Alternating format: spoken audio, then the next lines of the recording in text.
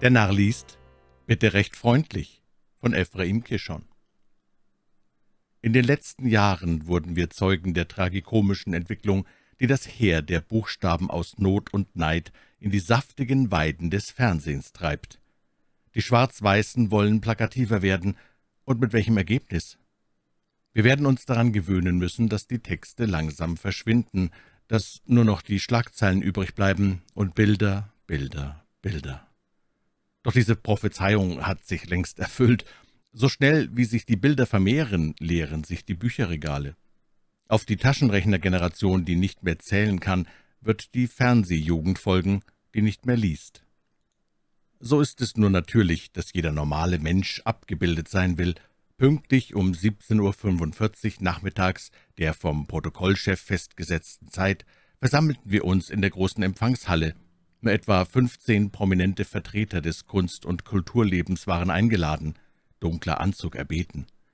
Tee unter der Patronanz des Ministers selbst. Überflüssig zu sagen, dass die ganze Elite gekommen war. Führende Maler und Bildhauer, weltbekannte Opernsänger und Schauspieler, einige arrivierte Schriftsteller, der größte Dichter des Jahrhunderts und zwei Ästheten von internationalem Ruf.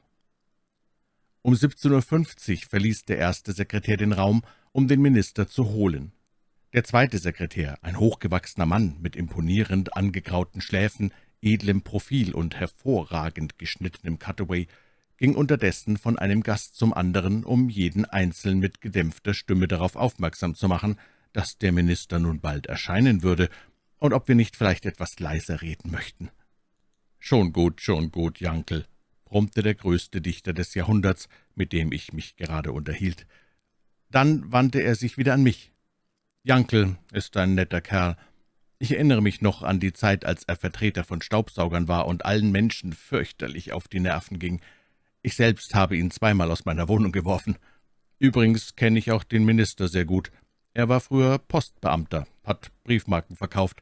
Erst nach seiner Heirat mit Bienenfelds jüngerer Tochter begann seine Karriere in der Politik. Trotzdem, warf ich ein, er muss doch auch begabt sein. Begabt? Ach, wo? widersprach der Autor mit tiefer Überzeugung. Er war ein ganz gewöhnlicher Beamter und nicht einmal sehr gescheit. Immer irrte er sich beim Abzählen der Marken. Bienenfeld hat ihn protegiert, das ist alles. Erst unlängst habe ich wieder eine sehr komische Geschichte über ihn gehört.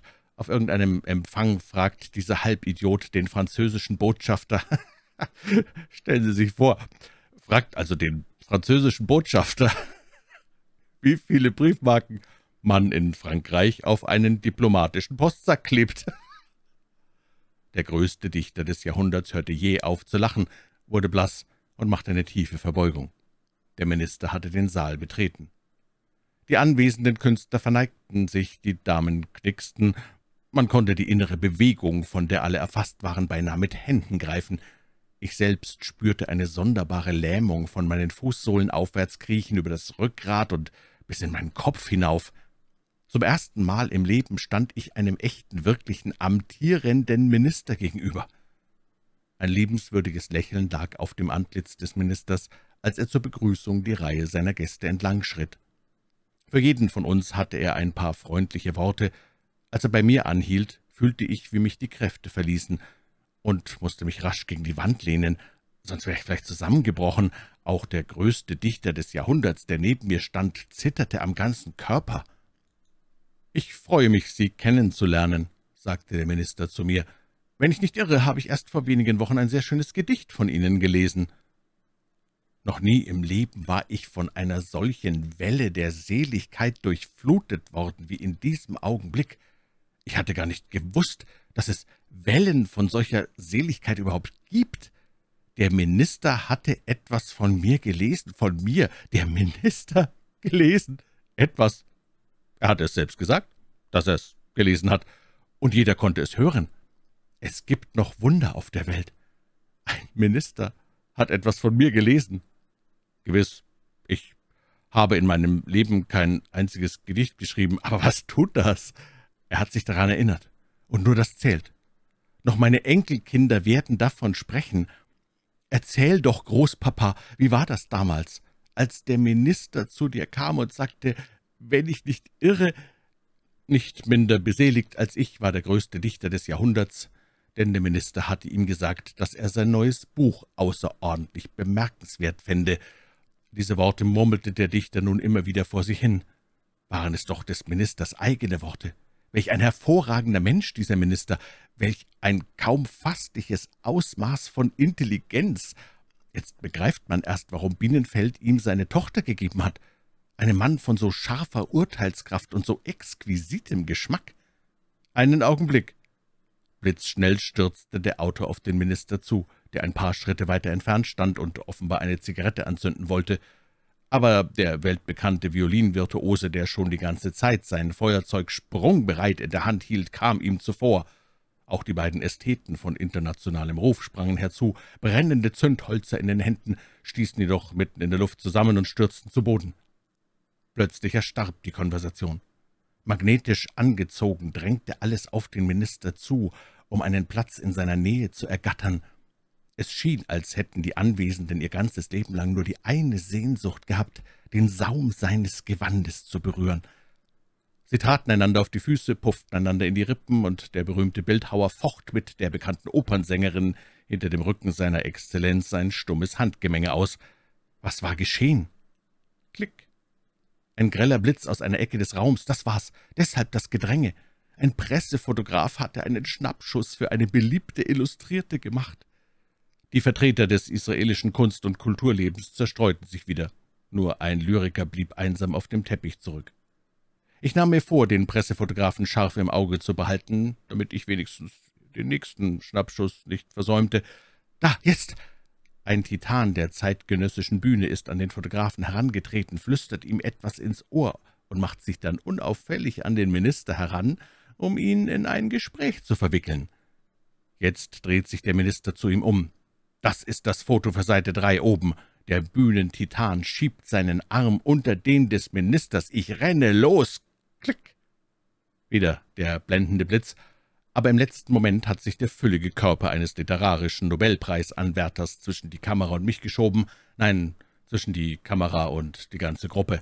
Zum Schluss war jeder Besucher mindestens einmal mit dem Minister zusammengeknipst worden. Jeder. Nur ich nicht. Irgendwie kam ich immer zu spät. Wenn ich noch so plötzlich losrannte, die guten Plätze um den Minister waren bei meiner Ankunft immer schon besetzt. Es würde kein Bild von mir und dem Minister in den Zeitungen geben. Scheiße. Aber was sehe ich da? Der Minister winkt. Wem? Mir? Das muss ein Irrtum sein. Ich drehte mich um, ob vielleicht jemand anderer da steht, dem er gewinkt haben. Aber nein, er meint wirklich mich. Oh Gott, welch ein erhabener Augenblick.